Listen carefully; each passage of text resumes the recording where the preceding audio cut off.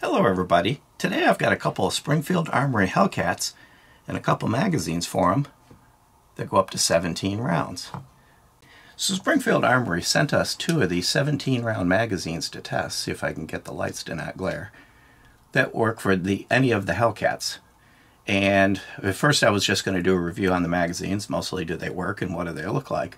But I really got thinking about the significance of this because with the Hellcat, with 17 rounds in it, does it make something like this Glock 17, which is significantly larger, heavier, bulkier, does it kind of make this obsolete because you can have a Hellcat that is smaller than a Glock 26 to start with with the flush mag that you can then put a magazine in it that is Glock 17 capacity.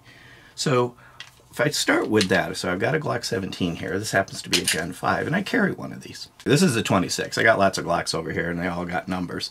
But if I take this Glock 26 and I take this Hellcat, and I set them side by side, and I'm going to actually set them on one of the magazines so that I can factor out the, uh, I'm going to move this one here out of the way, so that I can factor out the uh, red dot that happens to be on the Hellcat, you'll see that the Glock 26 is bigger in every dimension, and it's heavier and that makes a big difference in concealed carry. From a capacity standpoint, the Glock has 10 rounds in its flush mag. The Hellcat has 11, so the Hellcat's got a one round advantage to start with. And I'm going to try not to spout a whole bunch of numbers, just some that are important.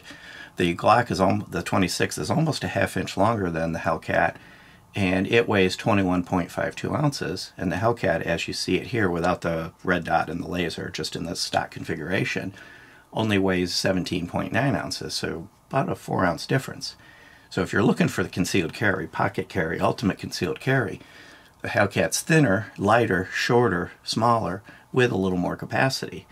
Now, you might say, okay, that's great. So I got my pocket gun, and maybe I don't go with Glock 26 anymore. Maybe the Hellcat replaces my pocket gun. But then it kind of ups the game. By the way, this Hellcat is, of course, unloaded. If I put in the 15 round, which is right over here. And by the way, there's also a 13 round magazine. Kind of makes it a little bit taller, moves it to a three finger grip. But the 15 round right here, now I got a full three finger grip and potentially replaces the Glock 19 that you see right here. So let's take a, take a look at that. So I've got a Glock 19, set it up here on the magazine, I've got a Hellcat and I line them up.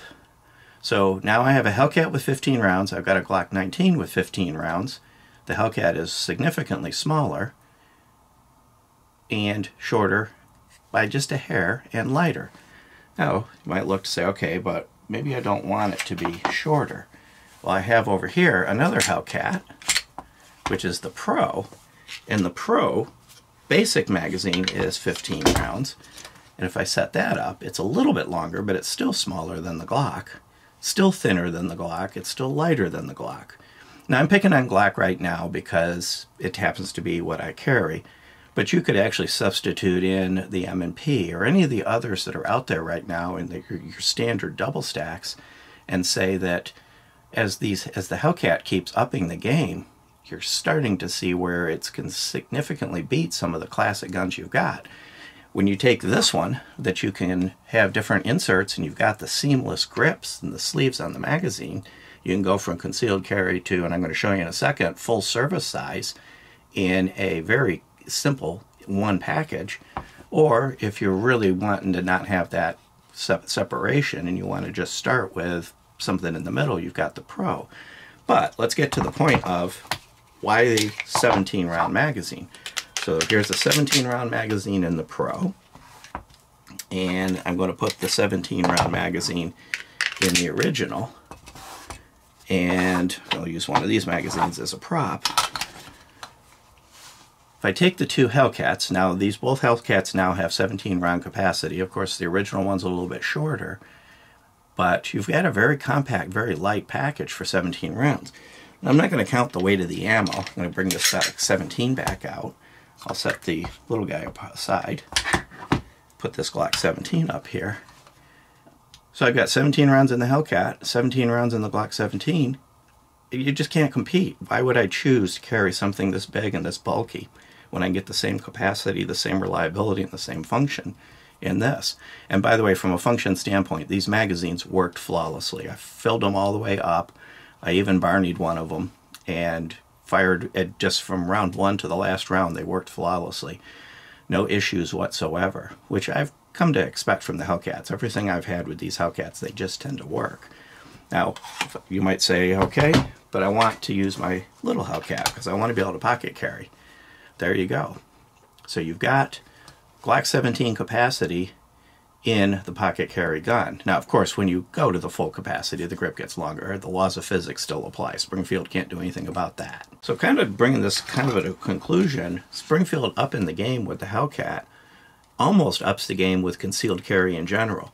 I can stake my pocket gun with 11 rounds and instantaneously convert it into a 17 round gun with my backup mag or I can actually choose, depending on how I'm carrying it, I could actually roll out with this. So really you're way up there in capacity. And the same thing applies if you go to the slightly larger Pro.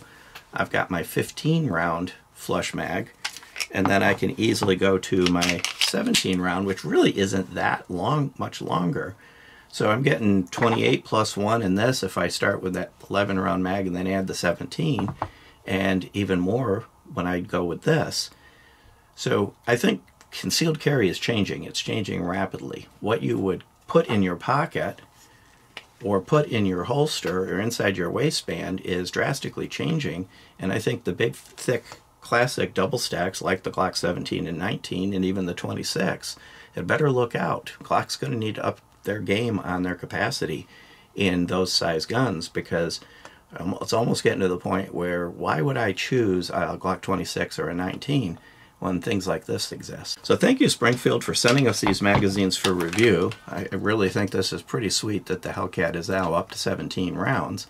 Beyond that, if you like our videos, please give us a thumbs up, share, subscribe, click that bell to be notified if you do.